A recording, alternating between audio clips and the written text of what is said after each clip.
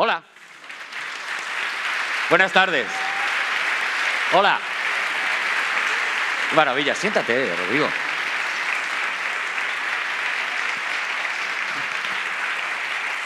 Qué gusto. Gracias. A mí me gusta mucho que la gente aplauda antes, porque nunca sabes... Claro, por eso los estoy parando, porque guardad fuerzas por si acaso al final consideráis, o incluso durante, consideráis que Hay que interrumpir el Y a lo mejor pensáis, yo ya he cumplido, yo aplaudí todo al principio y, y ya está, total, esto es gratis, no voy a... Bueno, ¿cómo estáis? Muchas gracias eh, a todos por venir, gracias a, a la gente del festival por, por traer a Rodrigo. y, y a mí pagarme el avión, que también quieras que no, es, es un detalle. Rodrigo, ¿de qué, ¿de qué vamos a hablar, Rodrigo? De lo de la risa. ¿Hablamos de la risa? Hablamos de lo de la risa. Vamos a hacer más o menos como en Todopoderosos, que es seguir un guion férreo Sí. y, y seguir la escaleta, ciñéndonos de la forma más férrea posible al plan inicial. O sea, como hacemos todopoderosos, que es pues ponernos ahí los cuatro en una mesa y venga, y ahora Javi tú dices esto, vale.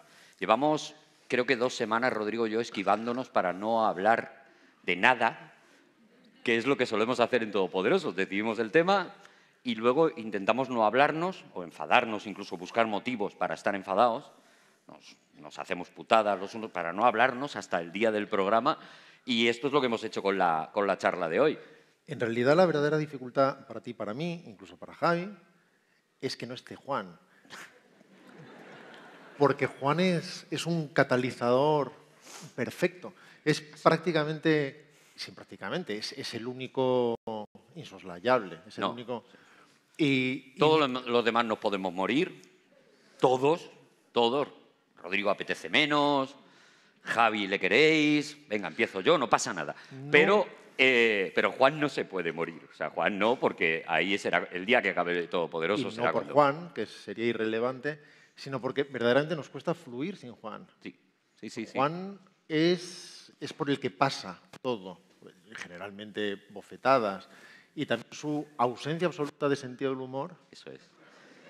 Esa es la maravilla. De hecho, yo, creo que vamos a hablar del humor desde el no humor. Desde el es- punto de vista de Juan. que es, que es el lugar, el territorio en el que habita Juan Gómez Jurado, El humor de los datos. es el humor matemático, que es el que Juan trabaja muy bien. Pero es verdad que nos da exactamente lo que necesitamos para, para luego a partir de ahí construir, Mira, construir vamos las a, hablar, cosas. vamos a hablar de Juan, Arturo. Vamos a hablar de Juan. Porque no, de verdad nos ayuda mucho a hablar de humor. Porque Juan, que es un estudioso de las cosas, nos pregunta qué hay que hacer ¿Qué hay que hacer para, ser gracioso? Para hacer gracia. Y lo, y lo estudia. Y tiene teorías. Y escucha cosas y las anota. Y dice, ah, ya sé, hay que repetir el mismo concepto tres Eso veces. es, eso es. La primera avisa, la segunda lo fija y la tercera consigue la risa. Él, se hace como esquemas, ¿vale? En una pizarra y además te llama y te dice, claro, porque el chiste que hiciste tú del pitufo es gracioso, porque tú paras aquí, haces no sé qué, y luego él lo intenta hacer en Todopoderosos. Y en el momento que hace la pausa es cuando normalmente Rodrigo dice, no, Juan. Y, y el que se lleva la risa es Rodrigo o yo, ¿no? O a veces te dice, viste que bien funcionó como te dejé la pelota botando para que tú... Eso lo tengo preparado desde hace 15 días. Y no sabes de qué te habla. No, no sabes No sabes. Sí, hombre, sí, cuando dije lechuga tú ya supiste dónde yo quería que... No, Juan, te juro que no. Otra cosa muy interesante de Juan. y que tiene que ver, claro, esto como lo han llamado. Lo han llamado bromas privadas. Pruebas privadas. El otro día en una entrevista nos decía, oye, Arturito, os conocéis bien, eh, ¿os quedan todavía bromas privadas? Digo, "Hombre, las bromas privadas surgen de que te conoces bien. Las públicas son Bien, pues a Juan le tenemos muy dicho que no se pueden hacer bromas No privadas. se deben hacer bromas privadas en público. En público no hagas bromas privadas. No porque sean eh, perniciosas o porque sean de mal tono, simplemente porque son privadas. Y nadie las va a entender. Y Eso es. eso excluye al espectador. Es el- el- Pero no lo entiende. No, no, no lo entiende. A él le gusta mucho hacer referencia a algo que acabas de decir en la sala en lo que te preparabas para entrar. Sí. Lo dice y te mira y te guiña el ojo como diciendo, Juan es muy fan de este mítico gesto, ¿vale? Entonces, siempre que estéis viendo un todopoderoso, escuchando un dragones y no entendáis lo que está diciendo Juan, es decir, siempre, es porque está haciendo referencia a una broma privada de la que nosotros no le hacemos caso, en, en el directo no le hacemos caso, pero él se queda así como, pues eso, ¿no? Haciéndote así Otra cosa de que, Juan. que personalmente Arturo y yo y a mí no nos gusta mucho en el campo del humor, que Juan hace mucho,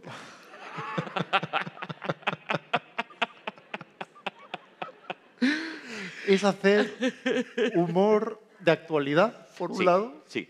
Nombres. y humor de nombres. Eso es. Humor de nombres propio. Eso es. Eso es. Porque además, conocéis los programas que hacemos, los hacemos con una cierta pretensión de que permanezcan en el tiempo. Entonces, de repente, claro, estás haciendo chistes. Nuestra pretensión es que queden para la eternidad. Bueno, sí, nuestra pretensión es que alguno de vosotros un día los cincele en mármol. Eso es. ¿Eh? que cuando dentro de, qué sé yo, 100, 150 Sí, años, sí. alguien vuelva a escucharlos, Eso es. sigan siendo actuales y vigentes. Y que en Esas- nuestras, en nuestras pirámides estén esculpidas cada uno de los títulos de, de los programas. en los frisos. Pero quitando, quitando esa sencillez, es verdad que nosotros eh, intentamos que los programas, pues bueno, permanezcan en el tiempo, ¿no? Porque es un poco además también el concepto del podcast, que tú te puedas escuchar hoy eh, cualquier otro. Eh, eh, Juan eso no lo, no lo concibe. No lo concibe porque él dice, pero si es que si puedes hacer un chiste y dices, "Mm, Pedro Sánchez, va a ser mucho más gracioso que si no lo dices. Y entonces de repente pues puede haber chistes de Aznar, puede haber chistes de, mm, no lo sé, de Fernando Esteso, o sea, puede haber chistes muy viejos ya y muy tal. Nosotros intentamos que no lo haga, pero le cuesta muchísimo. Ah, quiero decir una cosa buena de Javi. Que Ah, me- ah, que- qué susto me has dado. No, no, no, no, no, no. Quiero decir una cosa buena de Javi que me permite... Digo, nos cargamos el show. No, no, no. Vale. Una cosa buena de Javi que me permite hablar mal de Juan. Adelante, estamos en tono. Eh, por algún motivo, Javi es un bendito. Es, es maravilloso, es una persona maravillosa, es un ser beatífico, no concibe la maldad. La bondad. Cuando sobrevivió al COVID, sí que se- a él le dio como un subidón. de- Tuvo, tuvo unos meses que empezó a decir, quiero vivir, quiero vivir. Y ahí la maldad le Y entraba. se volvió malo, pero que le salió el penacho de los gremlin- del gremlin malo, ¿sabes? Se volvió malote, de repente, malote que le gustaba hacer chistes con, de los demás y Sí, eso y tal. porque Pero él- es... no. El humor cruel se ríe, pero a su pesar, por debajo, trata de muy mal. taparlo. Vale. Y entonces, claro, a Juan le damos. Y Javi no lo lleva, se divierte, pero le quiere defender Sí, siempre. sí, le quiere defender. Y entonces, cada vez que ve que Juan está demasiado arrinconado y ya empieza a hacerse chiquitito, ahí aparece Javi para defenderlo, aunque no le haya hecho gracia lo que ha dicho Juan, muy de madre. Pues Juan, en ese momento se hace fuerte y cuando quiere meterse con alguien, se mete con Javi. El cabrón. Con el que le ha defendido. Él ve que es como cuando había un niño en el cole, en el recreo, al que le zurraban, y ese niño, en cuanto tenía una oportunidad, descargaba en otro Eso niño. es, pegaba a otro. Eso es. Y se hacía cruel con otro niño, y no era bueno. Y entonces comprendías por qué le habían pegado tanto en el recreo. Pues ese es Juan, el Pues ese es cabrón. Juan, y ahora entendéis por qué le han pegado tanto en el recreo y, y- Y y ha crecido y aquí estamos, pegando a Juan, que es, que es un poco el espíritu, ¿no? Yo, Pero creo, yo creo que ya hemos calentado, Juan. y ya hemos calentado el programa. Pero es verdad que Juan, y, y como se supone que vamos a hablar del humor, que por cierto eh, ya era hora de que se hablara del humor. En ya este era, ya era hora, festival, que ya está bien. ya era hora de que alguien sacara. eh, te- tenemos un tema pensado que creo que es innovador, que es los límites del humor, Sí. con el que lo vamos a romper. Yo, ¿El humor es de abajo arriba, de arriba abajo? Eso es, eso es. Yo eh, había pensado, Rodrigo, que como llevamos ya años con esto del humor y los límites del humor y tal, ¿qué os parece si lo que digamos nosotros hoy aquí quede ya fijado? Para O siempre. sea, ¿qué es el humor? Pues lo que digamos Rodrigo y yo. ¿Vale? ¿Cuáles son los límites del humor? Lo que digamos. Y esto se manda al Ministerio del Interior, por ejemplo, se le manda la charla y dice, se acabó el tema de hablar del humor. Al BOE. Al BOE, que mañana salga en el BOE. Que han dicho Rodrigo y Arturo que, que el humor es esto. Y, y se acabó, ¿no? Que quede claro que el humor limita con Juan. Esos son los límites del humor. Por la-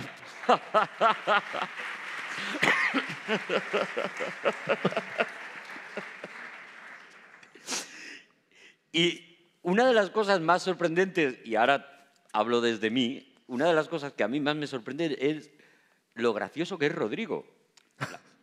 La, poquísima gracia que tiene Juan y lo gracioso que es Rodrigo Cortés, que no pega, quiero decir, a que no. Por, un montón de cosas. Las podemos enumerar o, o solo pensarlas. Vamos a pensar las tres primeras y enumero las otras dos, ¿vale? La primera.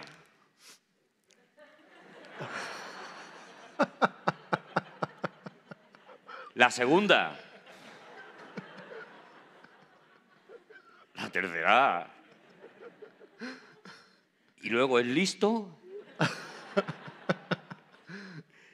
Y habla bien. Y a mí me sorprende mucho, y no sé si habéis leído el, el libro que, que tiene Rodrigo. A ver, yo descubrí que Rodrigo era gracioso muy pronto. Muy, muy pronto, de una manera eh, inesperada. No serían ni las 11. ¿no? No sé, no, no, muy temprano. Muy temprano. Que yo para ser cómico las 11 para mí es madrugar. Sí, sí, sí. Madrugar muy fuerte. Y, y descubrí que, eh, vamos a ver, los prejuicios y el humor siempre, siempre chocan, ¿no? Era el director de Variet, yo le conozco más o menos, concursante que me había encantado, tal, le conozco más o menos por aquella época, lo llevo a un programa que hacíamos Monaguillo y yo en la radio, a la parroquia, y, digo, pero este tío además es muy gracioso, el tío mierda. Fue lo que pensé, ¿no? Eh, eh, a base de trabajar con él, un día descubrí que es mucho más gracioso de lo que yo imaginaba, con lo cual me da todavía más asco. Si escucháis aquí hay, sí, si escucháis aquí hay dragones, aquí hay dragones tiene normalmente, si, si os gusta el programa y por lo que decís, y lo hago hasta yo, varias, varios niveles de escucha, digamos. ¿no? Yo creo que, que sí es un programa como que te puedes escuchar varias veces, primero por el montaje musical que hace Sí.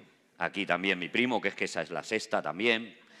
Eh, eh, segundo, porque hay una cantidad de información que, es difícil de procesar. Y os recomiendo una escucha que yo le llamo la escucha de los easter eggs. Es esto de los, eh, los huevos ocultos, en este caso los huevos ocultos de Rodrigo Cortés. Rodrigo se pasa... Os la regalo. Rodrigo se pasa. Es que ahora todo lo que diga ya va a hacer gracia y está bien. Se pasa ocultando huevos todo el programa. O sea, si escucháis, eh, si se pudiera sacar nada más que la banda de Rodrigo, eh, el programa está lleno de golpetazos, hachazos que va pegando Rodrigo, que está diciendo patatún, tacatán, pipipín, pum, pum, pum. Que yo muchas veces cuando estamos grabando ni siquiera lo escucho y cuando luego me escucho el bruto, ya no, ya no el montaje de Rodrigo, digo, pero este desgraciado ha ido sembrando todo el rato, todo el rato, todo el rato. Rodrigo Cortés es muy gracioso. Dejando esto claro, encima ahora ha escrito un libro que se llama Los años Antes, extraordinarios. antes de los años, hablemos de mí un poco más, por favor, Arturo. En- ¿Sabes cuál considero modesta? Bueno, las razones de los niveles de lectura del programa son una de las razones por las que creemos que perdurarán por siempre. Sí, por supuesto. ¿Y sabes ¿Y cuál creo, nosotros? modestamente, que es mi obra maestra, Arturo? La que hay que poner arriba del todo de la pirámide, ¿cuál es? ¿Cuál es? En ese sentido, al menos, el, el programa de la oreja de Banco. Oh. Sí, sí, sí. Sí. Os puedo garantizar que no sabía de qué íbamos a hablar. El trabajo de orfebrería que hace ahí Rodrigo de, de- de- de esquivar el, el zigzag profundo que hace para... Rodrigo no sabía que íbamos a hablar de la oreja de mango. Y tardé un rato cuando empezasteis a hablar de la oreja de Van Gogh en aceptarlo. Porque al principio. No, Pensaba no- que era no por broma. nada, pero pensé que era lo que Juan entiende por humor. Y entonces creí que. Hay un lo- momento en el programa, si lo escucháis, en el que Rodrigo dice, ah, vale, que parece que es verdad. Sí. Digo, o sea, que vamos a hablar de y esto, ¿no? asume todo y dice y se remanga y dice bueno pues vamos vamos para allá es verdad que es una obra maestra Rodrigo no sabía nada yo sí lo sabía yo lo sabía una semana antes y yo eh, eh, podía hacer dos cosas decirle Juan la oreja de Van Gogh creo con todo el respeto todo el cariño y todo tal que no es contenido para aquí hay dragones Si queremos perdurar. o callarme y dejar que aquello fluyera. Y efectivamente lo que ocurrió fue maravilloso. O sea, es verdad que es tu, tu obra Sí, maestra. mi obra- sí, yo creo que Sí, se sí, me sí, sí, recordará eso es. por aquello. Tu cuadro de las lanzas. Y hay que, hay que reconocer que lo encajaron muy bien. Bueno, nos mandaron discos de Bertín Osborne, los de la oreja de Van Gogh, para agradecernos, para agradecernos el programa, que fue maravilloso. La verdad es que se lo, se lo tomaron muy guay y, y son, son amiguetes. Hablemos de la novela, Arturo. ¿Ya podemos hablar de la novela? ¿O hablamos un rato más de ti? Es que si habéis leído la novela, yo lo, lo primero... eh, es- esto va de que contemos un poco nuestras experiencias, ¿no? Porque ya hablamos en los programas de otras Pero es que cosas. tuve que editar todas las canciones de La Oreja de Van Gogh. Entonces, puede que le dedicara seis, siete horas a que sonaran muy bien las canciones de La Oreja de Van Gogh. Todas entraban en el punto de la emoción, en el punto... Y ahí estaba Rodrigo Empezaban Cortés por con una lágrima editando aquello delante del ordenador. Y eso no se me valoró. Y a lo mejor los primeros compases anticipaban la explosión, pero estaban por debajo de la voz del último que hablara y decía la palabra y ahí Para entraba que el estribillo. entrara... No, no, no. sí. Y era con música de La Oreja de Van Gogh. Tú Y conseguiste hice- que me hiciera fan de la oreja de Van Gogh, de hecho. Fuiste Siete tú. veces. Y nos llenamos de muchas dudas en eso. Porque no sabíamos si nos gustaba más la música o la letra. No sabíamos si nos gustaba más Amaya o Leire. Eso es. La verdad es que eh, para Rodrigo fue, fue, fue una marea aquello. Y Juan decía, contened ahora vuestra opinión. Y yo le decía, descuida.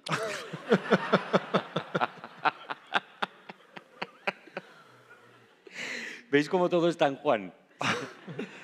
Al final todo rebota en Juan. Siempre hay que tener un Juan. Cuando os quejéis de no, es que no tiene humor, quedaoslo. Quedaos esa joya. Porque humor tenemos todos. Humor, quiero decir, el sentido del humor es como el sentido del gusto, lo tenemos todos y, y- y el- la diferencia es que cada uno tiene el suyo. Y que habrá gente aquí en este teatro incluso que le gusten los brócolis, por ejemplo. Oye, tengo ¿Sabes? muchas ganas de hablar de la novela, pero quería decir una cosa de Juan. Y yo creo que se- Juan estará bien. No, no está bien. Tenía una boda, además. ahora, Tenía una ¿no? boda hoy, Juan. Me, está- me lleva todo el día mandando. Es que de verdad era para pasar aquí el WhatsApp que tengo con Juan. ¿Podemos Lleva todo el día mandándome fotos de lo guapo que está. Es que este es Juan Gómez Jurado. Mira, y me he puesto chaqueta y. Ah, no hablamos de Juan, que se ha puesto fuerte. Es que, es que eso es lo que hace. Se pone la chaqueta, pero se la abre un poquito y saca así el pechito porque como se está entrenando, ahora se le ha puesto un pecho que es el campo de fútbol de Oliver y Benji. Lo que tiene ahí, tiene, tiene, tiene hectáreas, tiene para construir, tiene para hacerse seña ahí y, y- y está insoportable con lo guapo que está. Y entonces me, me lleva todo el día mandando como, como, pues como un influencer, pero, pero para mí. O sea, tengo el, tengo el canal privado de Juan Influencer, lo tengo yo. ¿Qué te parece el pelo? Yo, Juan, estoy en el avión. Me van a detener, Juan. Me lo ahueco más. Yo quería, Arturo, con tu ayuda. Tendríamos que hablar del libro, pero es Juan, Aguanta un poco, ya verás. Ya. Eh, hay que desmitificar ¿A Juan? a Juan. Hay que desmitificar una leyenda que Juan ha construido. Yo creo que es, que es el momento de derribarla en Bilbao. Juan no ha sido huérfano nunca.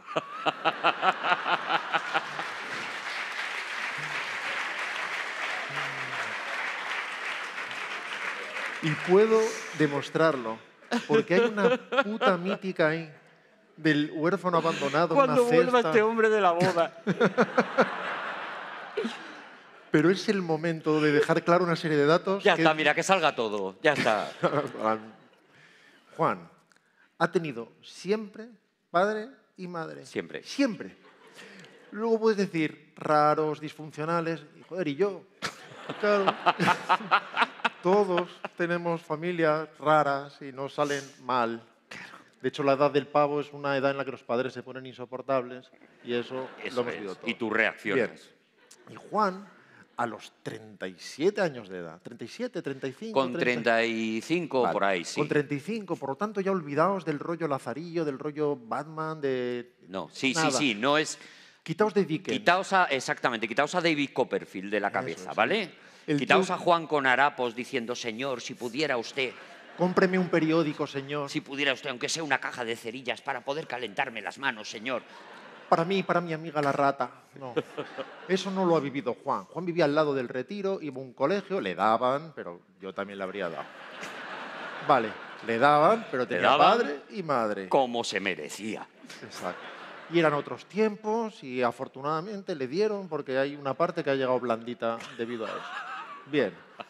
Y de repente con 37 años o así se entera de que es adoptado. Sí. Que ya me dirás tú. O sea, 37 años. Menudo mérito. El, el traumita, ¿sabes? el traumita. Y ¡Ay, claro. que soy adoptado! Juan, cuando Me lo puso en WhatsApp con una foto llorando también, claro, yo todo el rato. Yo es tengo... cuando empezábamos a lavar todopoderosos y se nos vino abajo Juan, porque creó una automítica de ser abandonado. Porque hay una cosa de Juan que sabéis, porque se le nota, que es que lo que quiere es que le quieran. Y otra cosa, antes de seguir destrozando la vida de Juan, otra cosa que tal vez no sepáis, es que Juan es la persona más generosa del mundo. Es la persona más generosa del planeta. Y con tal de que le quieras, te hace lo que sea. Y tú, obviamente, te aprovechas. Bien. Y un día, que estaba hecho polvo al lado del mítico Parque Calero, que Sí, estábamos señor. tomando, pues no sé, patatas bravas, supongo. Estábamos en una, en una Estábamos- terracita tomando unas bravas. Nosotros no estaba Javi, porque aún no se había incorporado a los Vengadores, pero Mm. en fin, estábamos nosotros tres. Y en un momento dado, él estaba esperando a su hermana que venía con su sobrino y no sé qué tenían que sacar algo, no me acuerdo. Vienen con un coche de pobre, porque vuestra familia tenéis coche de pobre. Sí, pues una familia, coches- pues, una familia sencilla, de un barrio sencillo de, Madrid, donde yo me he criado, donde Sí, yo me he criado, gente- pegando a Juanes. Eso es. Y fuiste a ayudarlos. Eso es. Y entonces abristeis el maletero y estabais allí. Y en ese momento le digo a Juan, mira Juan, familia, aprende. Y ahí empezó a reírse Claro, y empezó la mítica del huerfanito. Eso es. Y en el programa empezamos a llamarle huérfano de mil maneras. Y él primero encajaba como podía, aguantaba las lágrimas, seguía Bueno, adelante. el primer programa que grabamos de Todopoderosos, todavía en mi casa, todavía con Monaguillo, eh, Rodrigo y yo ya empezamos porque pillaba en, aquella, en aquel momento en el que había tenido él la terrible noticia con 37 años de que era adoptado. Y era algo que le traumaba y que iba por las calles con la mano en los bolsillos, escuchando los secretos, hecho mierda. Ya con dos hijos. O Ya el ti- con dos tío era, hijos, bueno, Soy adoptado, digo, pues tienes dos hijos, ocúpate ya de lo de Con abajo. una vida hecha. Lo de arriba ya está, ya esto está resuelto. Y nos sentamos allí a grabar. eh, evidentemente fue Rodrigo, que es la peor persona que os vais a cruzar en la vida, quien empezó con los chistes de huérfano. La segunda peor persona que fui yo, dije, aquí hay un hueco, vamos para allá. El Mona dijo... ay, Mona dijo, Y, y- y diez minutos Hombre, después... haz el favor, controla un poco mm, lo del huérfano. Y a los dos minutos ya estaba, entonces se ha muerto tu padre, ¿no?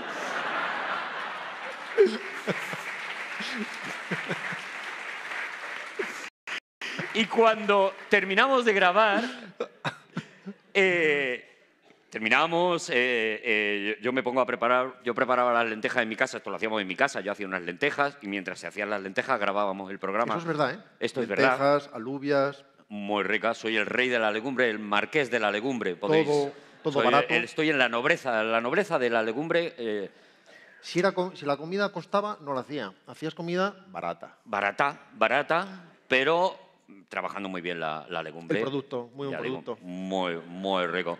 Mm. Muy rico, con, con mucha esencia. Entonces, terminamos de grabar, yo me pongo a, a hacer las lentejas y Juan, muy en serio, todos diciendo, pues ha quedado muy bien, qué guay, tío, a ver, bueno, esto luego hay que montarlo, tal. Y Juan decía, sí, sí, no, y además cuando quitemos todo lo de los chistes de huérfanos y esto...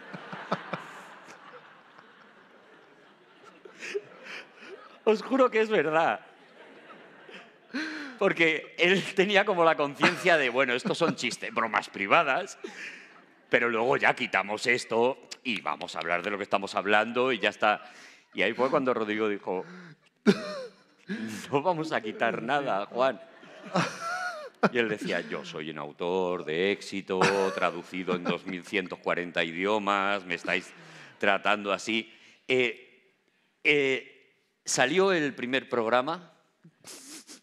Juan vio las consecuencias que tenía el, todos esos chistes de huérfano, que es que todos vosotros le amabais y nos odiabais a nosotros muchísimo. Y se enganchó. Y se enganchó. Le llevó dos o tres Y programas. pilló rollo. ¿Te acuerdas de los primeros programas que era, oye, vosotros creéis que esto de que todo el mundo crea que soy tonto está bien? ¿Te acuerdas? sí, sí, tal cual. Es que parezco, es que me están diciendo Tal que, cual, tal cual. que cómo os pasáis. Y nosotros, no, confía en nosotros, Juan. Hasta que vio el feedback. Cuando vio el feedback vuestro y dijo, esto puede hacer que me quiera la gente, enloqueció. Y yo recuerdo en uno de los programas que en ese momento no estaba Monaguillo, Rodrigo tampoco pudo, y grabamos con, eh, con Alberto Chicote, un programa sobre Star Wars. Con Alberto Chicote, yo le recuerdo en el estudio donde lo grabábamos antes de empezar diciendo, Alberto, esto va de que hablamos, pero tú te metes todo el rato conmigo y me insultas.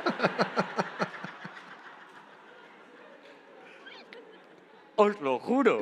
Hay una cosa, Y Alberto, que casi no le conocíamos, decía, ¿pero qué me está diciendo este tío? que, me- que le tengo que insultar, dice. se te acerca un enano y te dice, pégame. y te asusta, te asusta. Y además, claro, toda la imaginería, porque empezamos nosotros con Moisés, la cestita abandonado frente al convento de las dueñas, la monja que lo recoge, y llega un momento en que él empieza a asumir toda esa imaginería y sí, hacerse sí. dueño de ella y La empieza a hacer suya ya. y un, un vicio, es un vicio, es un vicio. Y yo recuerdo una historia de un amigo, Luis Oberdejo, un director de cine, uy, no debería haber dicho, no, bueno, da igual, ya está, otro, que un día fue al banco a sacar dinero, 20 euros creo, y salieron 240, 280, algo pasó en la máquina. Y él reaccionó con mucha sangre fría y velocidad, hace así, tapa, no mira la cámara, mira así, los coge y se va. Al cabo de un rato le llaman del banco, diciendo, señor Verdejo, que usted ha marcado el 20, pero por un error del sistema. sal-". No, no, no, de ninguna manera, esto no ha sucedido. Él ya rebobinaba y no, yo no he dado la cara, yo no he enseñado el fajo, me- no, no, no lo pueden probar. Y además hizo lo habitual en estos casos, que es hacerte el ofendido. Claro. Y es como se le ocurre decirme a mí eso, me está llamando Parece mentiroso. mentira. El otro, como no lo puede demostrar, dice, no, no le estoy diciendo mentiroso, quizá despistado, quizá de ninguna manera. Y ya se metió en un lío enorme y fue a pedir consejo a su padre, que era el consejero a quien podía recurrir. Papá, me están llamando del banco y me están diciendo, pero yo he dicho que de ninguna manera que yo no he sido y he subido mucho al juego. Ahora no me puedo... Y su padre, como un consigliere, empieza a meditar la situación y dice, vamos a hacer lo siguiente. No aceptes nada, quédate el dinero, sigue sosteniendo, sigue sosteniendo que no lo tienes, dice, pero no llegues a creértelo. Porque eso de hacerte el ofendido, aunque te lo acabes de inventar, es un vicio. Y antes de que te des cuenta, crees que tienes derecho a eso y que te están insultando. Y, Pues Juan se ha viciado. Juan se ha viciado. Entonces es, Juan, está bien el juego del huerfanito, pero no llegues a creerte. se ha metido en ese rollo de la orfandad, ha visto, pues eso, el cariño que, que produce y, y por eso digo que Los Años Extraordinarios es un gran libro. Sí que lo es. Está a la venta, además, ahí fuera. Es, os, decía lo de los años extraordinarios porque ahí haces, eh, eh, haces un tipo de humor que yo no te había escuchado nunca. O sea, yo cuando me mandas el libro, eh, lo primero que te digo es, y os lo advierto a los que no lo habéis comprado, que vas, normalmente te, te- lanzas sobre un libro, sobre todo si, bueno, si has generado cierto hype hacia él y demás, te lanzas con una, con una hambre, con un hambre de venga cuanto antes dame esto, ¿no? Y, y lo primero que percibes en los años extraordinarios es que tú mismo te encargas de poner así un pie en la cara del lector y decir, no, no, no, no, o frenas o este libro no, te lo, no lo abarcas. Es lo primero que te ocurre. O sea, yo lo primero que hice fue llamarte, bueno, me mandaste el libro, te digo, y yo pensé, mañana le digo algo, y cuando empecé a leer aquello, me acuerdo que te dije, te diré algo cuando acabe porque va- me resulta imposible. También es verdad que yo tengo una neurona que va dando vueltas y cuando cuaja, cuaja. Pero me resulta imposible eh, eh, leerme este libro a la velocidad como para mañana te digo algo y, y tal. Es así, ¿no? Hay un momento en el programa de la oreja de Bango en el que Juan No dice, vais a hacer un experimento, no sé si te acuerdas, y dice, voy a poner el mismo tema, que no sé cómo se llama, las cosas del mar, era mar, lluvia, algo. No sé, y te sabes dice- tú las canciones, yo no. yo- tú lo montaste. Y dice, la primera mitad está cantado por Leire y la segunda por Amaya. Y en un momento dado va a haber un crossfade Sí. y a ver si sabéis diferenciar las voces, ¿te acuerdas? Sí, sí. Y entonces empiezan "Eh", y luego empiezan y luego- y era como ahí.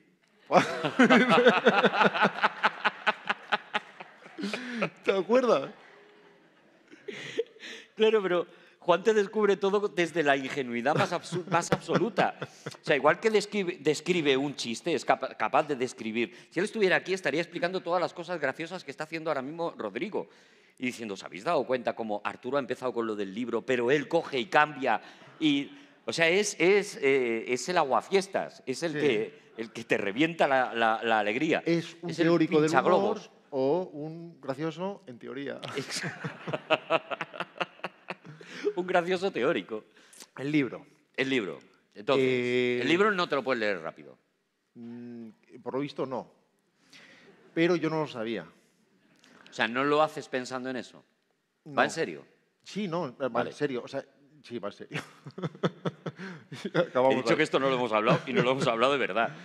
Eh, no, no lo escribí pensando en nada, para empezar. O dicho de otro modo, lo escribí sin pensar.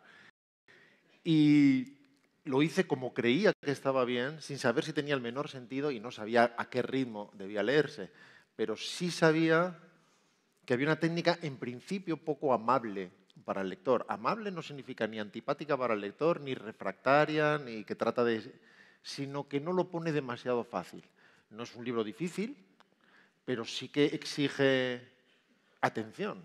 Exigir atención al final es pedir que no mires el WhatsApp mientras lees, ¿no?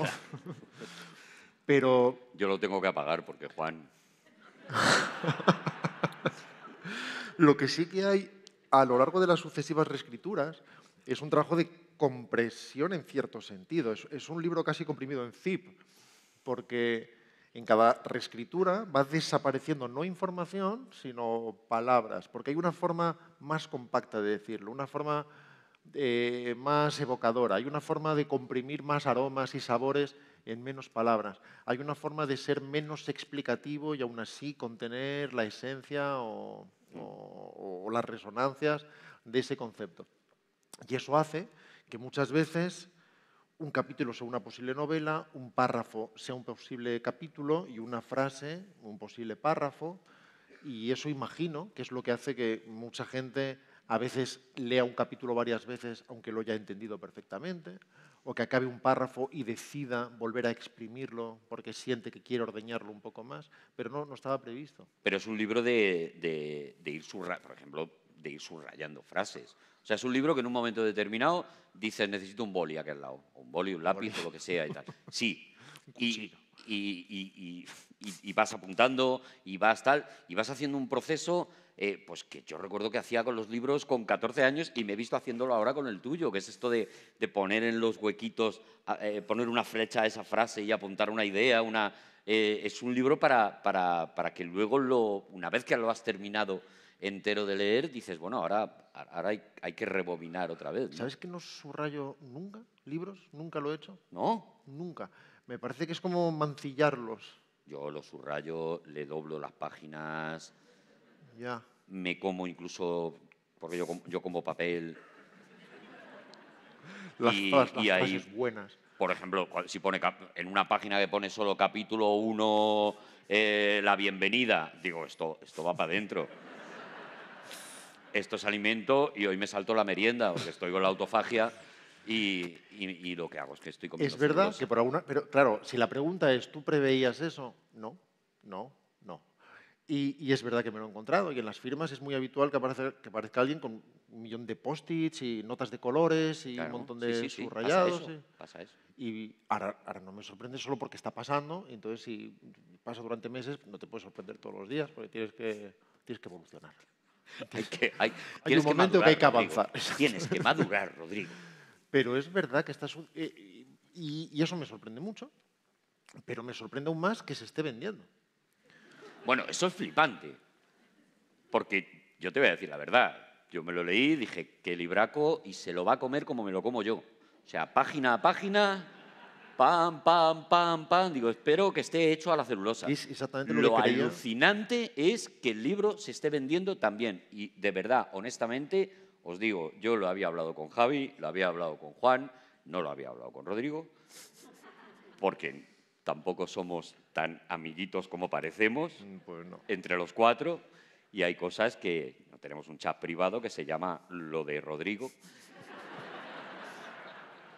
Sí. en el que Es- hablamos de estas mierdas y básicamente bueno pues era pues el, el emoticono de el emoticono de así era todo el rato lo de lo de tal o sea es de verdad muy sorprendente que el libro se esté leyendo tanto de verdad honestamente y te lo digo ahora no lo esperábamos ninguno ninguno qué ha pasado por qué se vende este libro es que no es que no tiene sentido de verdad Mira, les ¿Para hace qué lo compráis?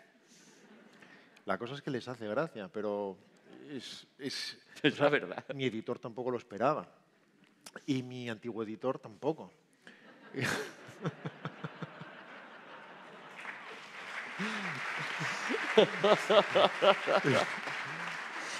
ha quedado mucho más gracioso de como yo lo había previsto.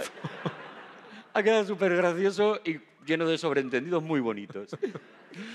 Y, y de hecho me mandó una carta preciosa, una belleza de carta, hablando cosas muy bonitas del libro y también anticipando que Y indicándote con un gráfico por dónde te, met- te podías meter el libro. Y eso es lo. Y eso para mí es lo verdaderamente sorprendente, porque mi inmodestia daba para lo suficiente como para pensar que eso acabaría de un modo u otro publicado y creía, honestamente, y, y desde la inmodestia, que iba a ser importante para una serie de lectores, que creía que iba a ser muy minoritaria, eso sí. Pensé, hay alguna gente, que no sé quiénes son, que van a conectar con el libro de forma profunda.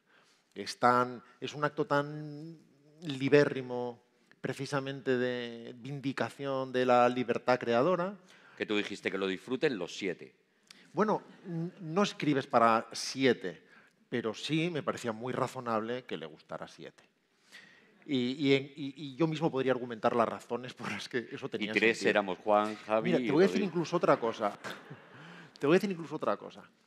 El libro fue rechazado en varias, en varias editoriales previamente, Eh, recibiendo muchos halagos en las cartas de rechazo, todos dirigidos al hígado, y, y en términos muy respetuosos y muy razonables.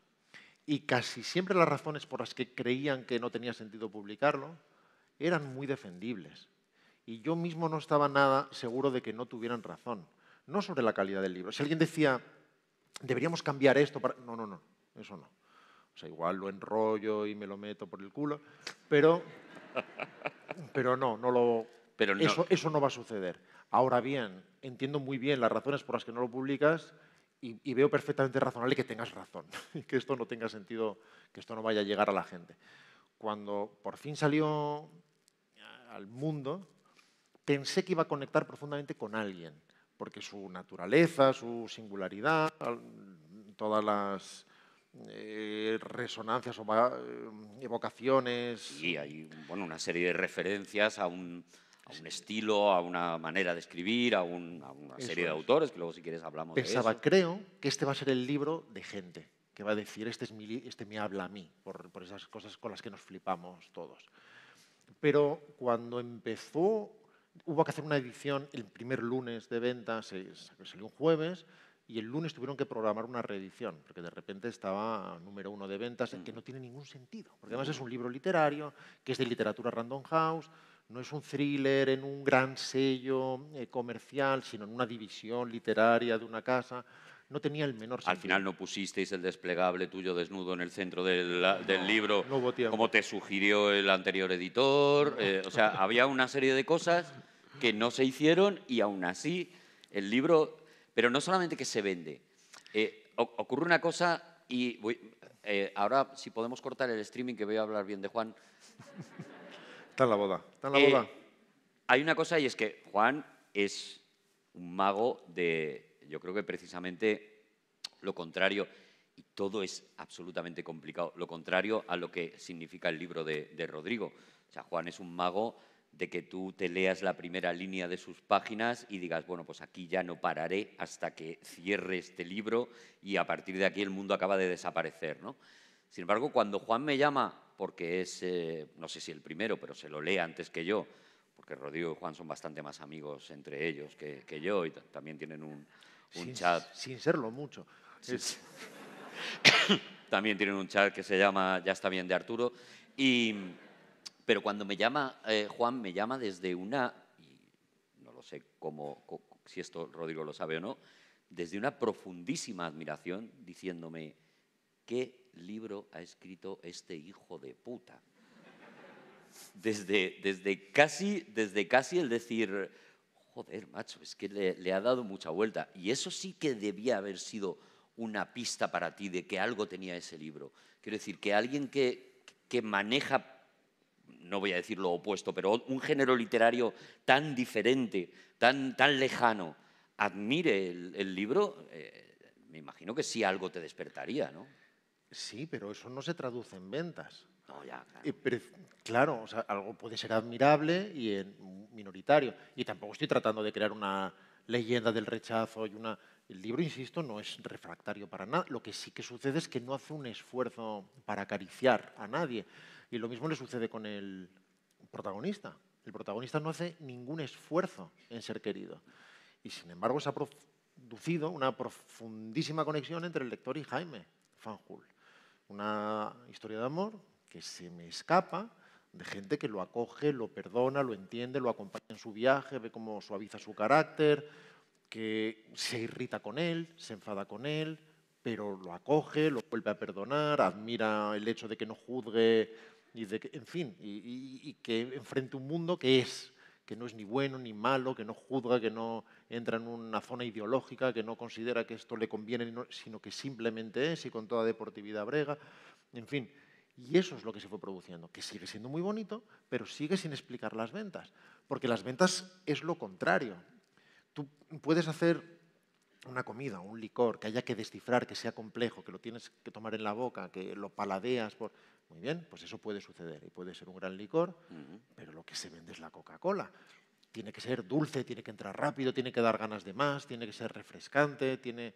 eso es lo normal y luego puede estar muy bien hecho. Lo que hace Juan está muy bien hecho. Es literatura, no, no me atrevo a decir comercial, es, bueno, comercial en un sentido neutro, si quieres, o en un sentido No, no, que no comercial nada. en el hecho de que se es- vende... que es- que es comercial, es Claro, indiscutible. es- es inevitablemente que, eh, está dentro de lo pero comercial. que es de primera calidad, es un thriller que... Y eso es lo que tiene sentido. Entonces, que esto se estuviera convirtiendo no solamente en un éxito de ventas inicialmente, porque podía ser no sé qué tipo de tirón extraño, y dos semanas después se acaba el tirón, porque la gente dice, ¿qué cojones es esto? Creí que... Y sin embargo, las reacciones eran siempre esas. Eran las de libros subrayados, gente leyéndolo y volviendo a empezar, volviendo a leer varios, entrando en ese mundo en el que hay coches impulsados por el pensamiento, en el que París se edifica al otro lado del Sena, en que Jaime Fanjul abre un taller de estropear cosas o llega volando a Nueva York desde Nueva Jersey con esos dos ventiladores gigantes. Y todo eso producía una comunión extraña que no es previsible y que tampoco es repetible. Hay cosas que suceden, no, no tienen nada que ver, pero, o, o, tiene algo que ver. Pero viví algo similar con Buriez, por ejemplo. Buriez es una película que no tiene sentido. Una película que pasa dentro de una caja, nadie quiere hacer esa película, por razones que entendemos todos el primero yo. Metes a Deadpool ahí. no vas a salir nunca, no enseñas las llamadas. ¿Cómo te, ¿Cómo te va la cabeza, Rodrigo? Empieza con tres minutos en negro solamente con sonidos, acaba, el que no lo haya visto, pues no diré cómo acaba, pero seguramente no de la forma que el productor querría o el distribuidor. Y cuando se convierte a partir del Festival de Sundance en un, un pequeño fenómeno internacional, ¿qué explicación hay? A, a posteriori todas, pero las de a posteriori no valen ninguna. Claro. Eso es como prever si llovió ayer o prever si bajó ayer la bolsa. Eso no vale. Tienes que saber si va a llover mañana y qué va a pasar con la bolsa. Y sucedió. Y claro, si quieres tratar de interpretar las razones, te equivocas, porque no hay una sola lección de sacar de todo eso. A partir de ahí, mucha gente pensaba, ah, eso significa que se puede hacer películas con muy poco dinero, pero con imaginación. No, no significa nada. Bueno, salieron 40.000 varios en aquel momento, o sea, empezaron a hacer todo el mundo, porque esto es, esto es algo que sí estamos viendo continuamente, ¿no? Esto del algoritmo, que de repente alguien lo peta por un motivo determinado y empiezan a salirle eh, eh, hermanitos, eh, como diciendo, es que lo que hay que hacer es esto, cuando no funciona así, yo creo, normalmente, y no, No. se llega... Lo único que demuestra esto, porque insisto, la- de las singularidades hay muy poco que aprender, es lo que decía William Goldman, de que nadie sabe nada. Todo el mundo trata de aprender las leyes del mercado, anticiparse a lo que quiere el espectador, a lo que quiere el lector, y nadie sabe nada. Los años extraordinarios contradice toda teoría, no vibra ninguna ideología dominante, no se adscribe a ningún tipo de grupo, no responde a una ley o moda de mercado, ¿no? ¿Y eso significa que por eso funciona? No. Con eso mismo podría haberse estrellado perfectamente. Solo significa que nadie sabe nada. Y la única pequeña lección que puedes extraer, que tampoco sirve para nada, es que cuando haces lo que quieren otros, cuando haces lo que se te recomienda, cuando haces lo que el estudio quiere, cuando haces lo que los estudios de mercado eh, anticipan como algo que trae algo de garantías, las posibilidades de triunfar son muy cercanas a cero, prácticamente inexistentes. Y cuando haces lo que tú quieres, las posibilidades de triunfar son prácticamente inexistentes, muy cercanas a cero. Lo normal es que las cosas no funcionen. Lo normal es que no triunfen nunca. Lo normal es el fracaso. Por lo tanto, haz por lo menos lo que quieres tú.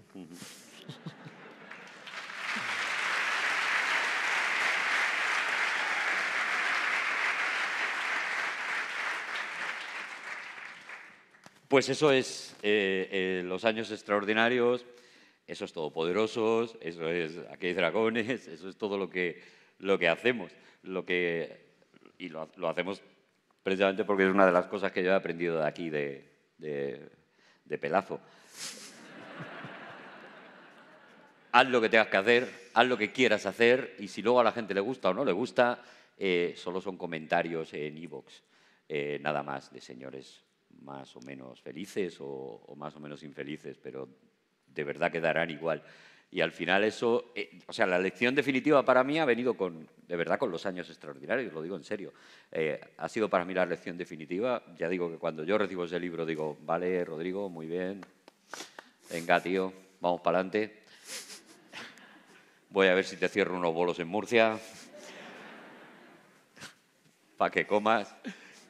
Y ha pasado lo que ha pasado. Y es verdad que, que eso es lo que tal. Por cierto, eh, Rodrigo Cortés estará firmando libros a la salida ¿Y tú? de... ¿Y tú? ¿No hay Marvel qué hermosa eres? Creo que los de Marvel se han agotado todos, porque... Porque Marvel sí que... El de Marvel que hermosa eres sí que era el libro que nadie esperaba, que no... Ahí jugué con las expectativas de la gente. dije, Ese libro no era comercial. Eh, si hay alguno que se quiere comprar el de Marvel, pues también estaré yo. Pero vamos, Rodrigo va a estar allí ahora firmando los años extraordinarios. Nosotros nos tenemos que marchar ya porque creo que por los vecinos, que creo que a partir de las 12 ya hay que bajar aquí el jaleo. Y, pero, ojo, queremos daros las gracias a todos los que habéis venido y ver, un teatro ya semilleno mola muchísimo, de verdad. Y, y gracias a, a la gente del festival. A los que sean, que como son- se llamen. Al, al- al mayor de la barbita Sí, el otro. y a la chica guapa. Una chica muy guapa, rubia, súper simpática Muy y... bien. Gracias no- a todos y al ayuntamiento de lo que sea esto, que será, será del PNV, será.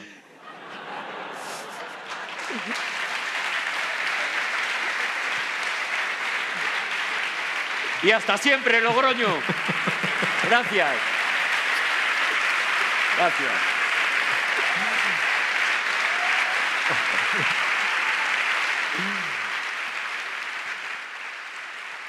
Vámonos.